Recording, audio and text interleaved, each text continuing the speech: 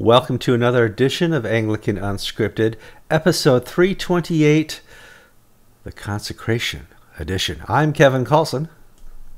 And I'm Gavin Ashenden, and the 28th of September 2017.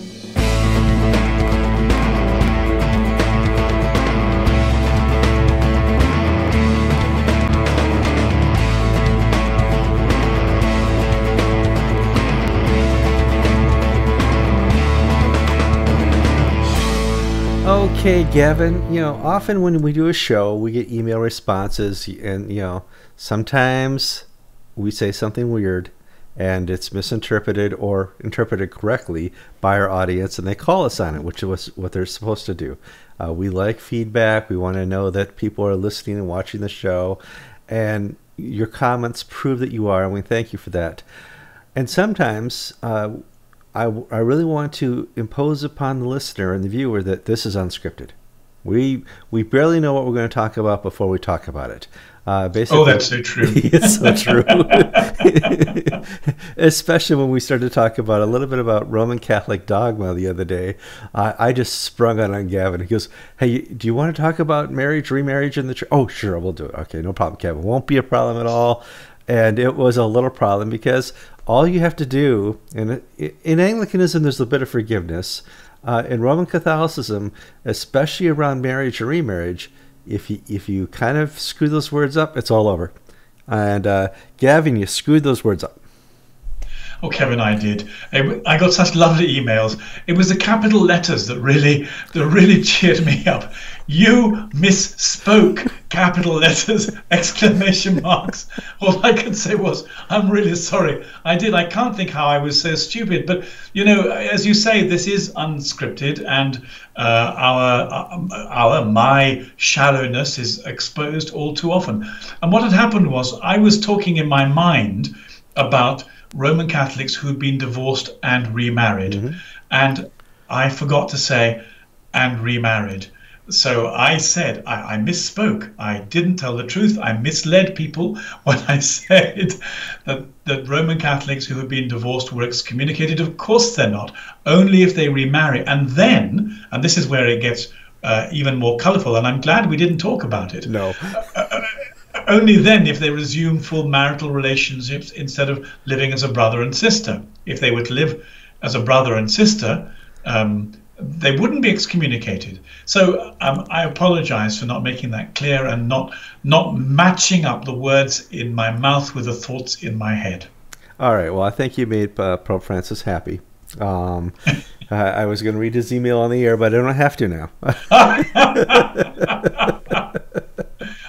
I have a nice picture of him whispering nice things in my ear, which I can send you. so, uh, on to the oh, show. Oh, you think I'm joking? No, I'm I, have seen the picture. I thought, yeah, you, you have met Pope Francis. Yes, yes. We, we, uh, uh, we, we, we, we, we, he asked me to pray for him, and we had a few words together on the podium in the middle of of uh, of um, St. Peter's Square. It was a it was a funny little miracle. Actually, it's not at all uh, unconnected with um, with what we're talking about. But but this is a different story. Sure. Well, it's uh, I have there's a picture of me with the Pope as well. Uh, I was at a Philadelphia train station and there was a cardboard cutout of the, the pontiff, and I said, "This is the only chance I'm going to get to have a picture with the Pope." And it, it'll never be published because for some reason my hair that day was just and just what it is. It is what it is. So on to other news. I don't know. It's kind of a boring week. Um, oh wait. Oh, hold on. You're wearing the wrong color shirt. I'm going to have to adjust that color. Um, in case people, I don't think anybody who who's out there doesn't know um, that uh, you were recently uh, uh, honored with the con- to be consecrated a bishop. Yes, Kevin, uh, and um, I've had emails about that as well. Uh, ninety-nine percent of them have been really lovely, but but one percent of them have said you are an ambitious, conceited, and and and a few other words. Um, and uh, uh, I, I wanted to write back saying, how how do you know this? Um, I have many sins. Uh, am- ambition isn't one of them anymore, and any conceit my wife deals with instantly. So the scope for that is limited to some extent. Um, Kevin, what this is something that uh, has come into the news recently, but has been uh, in the background for a while because uh, it's become clear over the recent while that um, the Church of England wasn't going to be very generous in the way it offered episcopal care to, to traditionalists. So I, I expect uh, our listeners know that there's really quite a large conservative evangelical constituency in the Church of England. It's vibrant, it believes in the Bible, it's growing, uh, and um, it, it was offered one bishop, uh, a kind of flying bishop, a guy called Rod Thomas, who was chairman of Reform, which is um, one particular conservative group in the church. Now, in, in, terms of statistics, the idea that something like 20% of the Church of England could be covered by one bishop was silly. So, for a long time now, people have been saying to the uh, the Church of England, you must provide more bishops for people who don't accept your progressive gender theology. And at the other end, the the sacramental end, the Anglo-Catholic end, uh, the deal there is a very precarious one.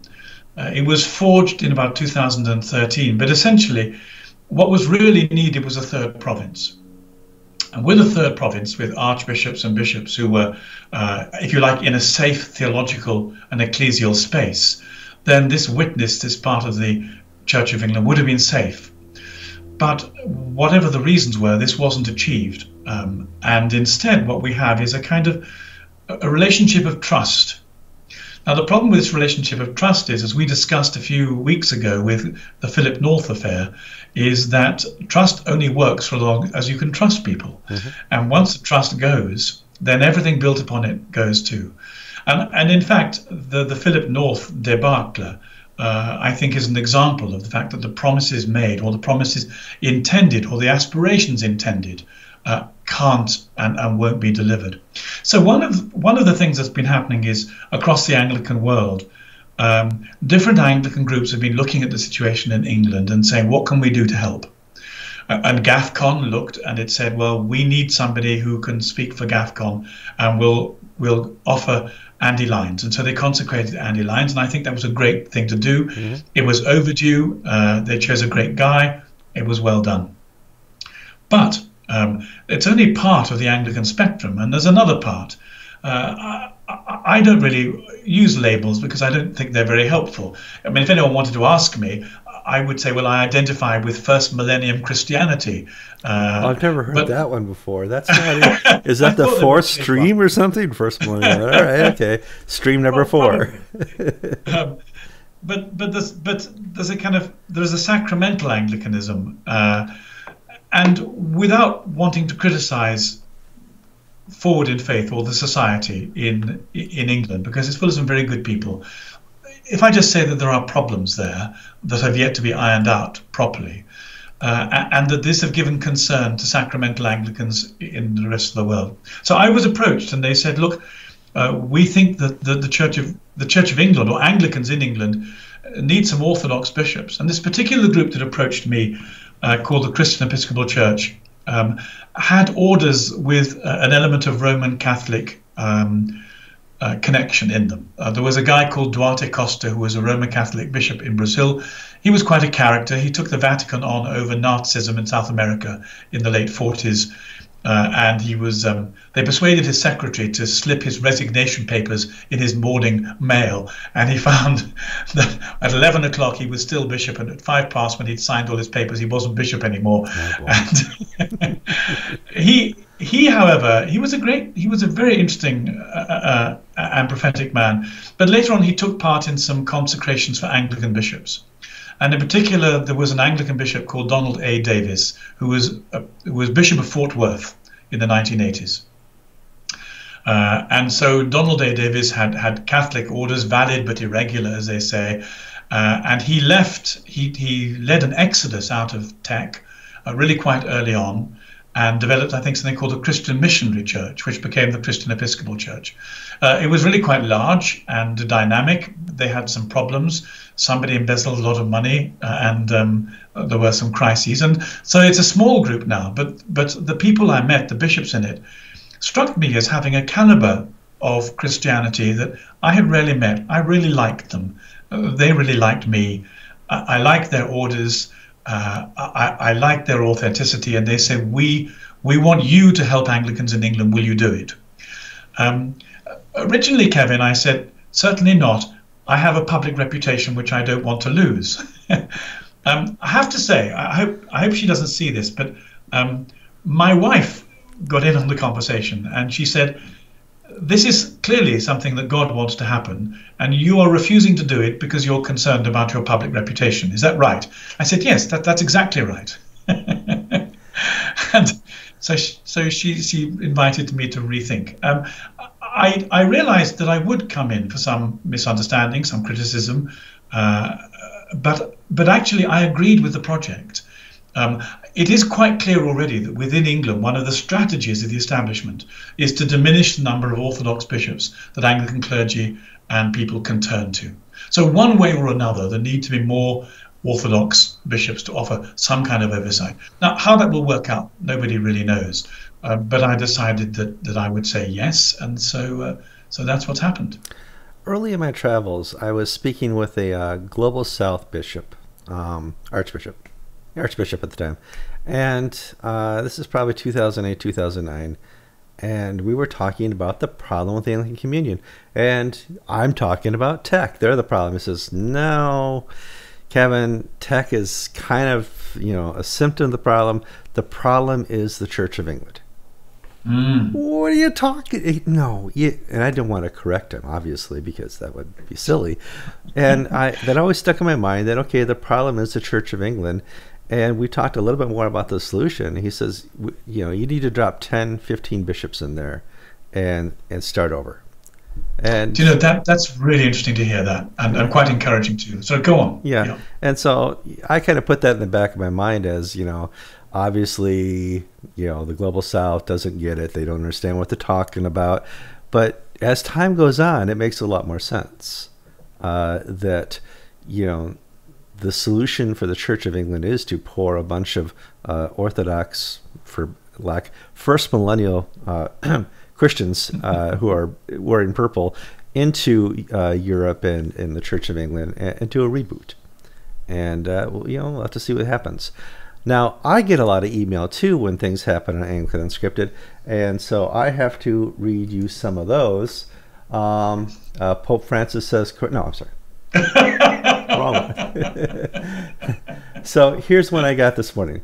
So just a quick question, Kevin. Should I be happy about the news about Gavin or not? Uh, I was taken aback by it. I'm happy for him personally, I guess. I like him, but I'm sort of not happy because it's with other breakaway groups uh, that seem to be just a bunch of splintering bishops trying to do the same thing as the ACNA, GAFCON, and all the others. Um, should this viewer be happy? Oh, that's such a good question. Uh-huh. Uh, so, one of the things that, that we can do in England is we can look at what happened in the States. And, and your question is exactly right. We know that the Orthodox uh, had this kind of centrifugal splintering. Um, and uh, so, one of the things we said to ourselves is we mustn't let that happen here. Now, my, my fear is it might well happen because it's human nature um, and we're in a spiritual conflict. But but um, one of the things that we have here is something called a unity forum. And the Unity Forum comprises of groups of Anglicans from different spiritualities. And the intention is to draw everyone together. Mm-hmm. Now, to do that, the bishops who are involved are going to have to love each other, um, pray for each other, commit to each other, um, and uh, and offer a spectrum of episcopal care across Anglican spirituality. Now, in theory, it can be done, but but absolutely, if this was an attempt to start a new church with new congregations and drawing people into into kind of fresh schism, that would be a, a seriously bad thing to do. What is much more addressed at is the fact that um, I personally don't think that people should leave the Church of England. This is not a TEC ACNA replay. A lot of people look at what's going on with us as if it were. But, but here's what I think is going to happen. The Church of England is, is likely to go bankrupt. A, a lot of it, most of it, uh, within you're, five. You're not talking just spiritually, are you? No, no, I'm okay. talking financially. Okay. so within the next five to seven years, many dioceses will be close to bankrupt or, or, or insolvent. Uh, they don't have the money, they don't have the people. The average age is about 65, uh, and the, um, the demographics are, are, are dropping really very quickly. Now, there is money in the church, there's historic money, there's property, for example. The church commissioners are very rich indeed, but they are bound by trust law as to what they can spend their money on. So if the Archbishop of Canterbury asks them for several million pounds for a project, they have it and they'll give it to him. But of a diocesan bishop says, "Look, I have um, I have 50 churches, parishes I want to keep going. Can I have some money to do that?" The answer is no, you can't. So one of the things that will happen is that is that that parishes will fail in dioceses, and what we hope, what we what we think ought to happen is that that clergy who are in parishes at the moment and they have very strong legal rights under what's called freehold here, um, should stay in position, and then in five to seven years, uh, say to the Church of England, we would like to rent this church. Uh, we want, we want, for example, to do a kind of dual denomination thing. Uh, we will continue to be Church of England, and uh, all that you need to legally do, I think, is to say a, a, morning prayer in the church on Saturday, on Sunday morning at eight o'clock to satisfy the minimal canonical requirements. But actually, we're also going to have a relationship with uh, with another group of Anglicans. Um, and so by by having, if for example you're a, you're a, a, priest in a congregation, and let us say that your bishop is a woman, which you don't agree with, uh, and therefore that you really have no bishop as such. Uh, let's say that that, that woman has uh, invited uh, Muslims to practice the call of prayer in her cathedral precincts, and you say, "I really don't have a bishop as such." But you're but you're an Anglican. Where would you where would you go for Orthodox episcopal oversight? Well, you couldn't have it legally, but you could have it spiritually. And what we think ought to happen is that there ought to be, as your Archbishop from the Global South said, a number of Anglican bishops committed to unity, committed to evangelism, uh, who are willing to offer episcopal oversight as the number of bishops who are appointed in the Church of England who are heterodox grows, and it grows by the month. Uh, and so, uh, who is to offer episcopal care to these people? That's it's the intention to make that kind of provision. But but the intention is unity, a drawing together, not not creating a separate empires and splitting people apart. So if we can do it, I, hope that ought to satisfy your questioner and his perfectly proper question. Mm-hmm. It, it is. Um, now, here in the USA, we, we tried to negotiate with the Episcopal Church and uh, try to retain our properties and stuff like that um, the presiding bishop at the time had other thoughts on the issue and, and thought that legal recourse was uh, a better result for her. Um, what are the legalities, and we're running up here on time, what are the legalities mm. in a place like the Church of England? Uh, can they refuse the, the right of rental? Uh, but, well, uh, are quite they, they complex. Won't, but yeah, but they won't refuse it to the Muslims. They won't refuse it to the Buddhist. but can they re- refuse it to you know uh, competing Anglican uh, entities? Um, certainly, if a church, if so, we've got two kinds of churches we need to distinguish. Um, those that have been deconsecrated and are right. just buildings, which can be sold or rented to whoever you like, and then they can sell them or rent them to whoever you like. Okay. Um, and and indeed, there are a number of churches in almost every diocese, rural dioceses, which are up now for for sale and for sale in particular. But but we're thinking more of congregations where they're in their church already but and they don't want to move out of their church. They don't want to give it up. But nor do they want disciplinary action brought against them. For example if they invited in a bishop um, who did not who was not licensed by the archbishop or the diocesan bishop to preach they would be committing a disciplinary offense. Well now let's say they wanted to have oversight from such a bishop hypothetically speaking. Um, what they might end up by doing is saying to the diocese look we'd like you to, to, to rent us the building that we have legal rights to anyway, so that we can uh, have a different ecclesial persona, a kind of dual passport at the same time. Now, initially, the diocese would say, certainly not. Do you think we're crazy? Why should we do that? But if the diocese was very short of money uh, and and really very badly needed the money, then there might be room for negotiation. So um, we just have to wait and see. No one really knows what's going to happen in England. Uh, no one knows how much of the Anglican Church here can be saved or even wants to be saved. Uh, so, but but to do nothing is probably not the right way forward. No. Well, let's make clear that you're not likely to uh, get permission from the Archbishop of Canterbury, uh, this one or future ones, to uh, perform Eucharist or uh, bishop functions in churches. So anybody who invited, I, I didn't. What's that? I didn't think I'd embarrass. I didn't think I'd embarrass him or me by asking him, Kevin. if he's watching, Justin, it's okay. It's, we're good.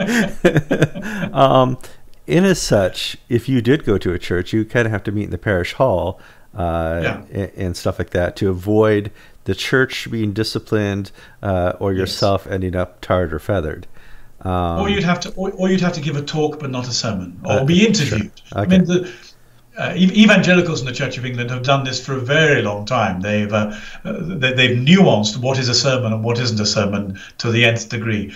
But on the other hand, really, one doesn't want to be playing these kind of games. They're not dignified and they're not terribly honest. So you're right; it can be done in a church hall or done outside a formal service, or or it could be done inside the liturgy of a of a, of a different Anglican denomination. In theory, mm-hmm. there are ways of doing it, but. Um, uh, so we, we're looking to find a way forward but what we have to do is to is to provide uh, episcopal oversight for faithful Christians so that their communities can remain Anglican and Episcopalian and flourish. It's the flourishing of the kingdom and the gospel and Christian communities that, that we have to work towards. Find some way of doing it.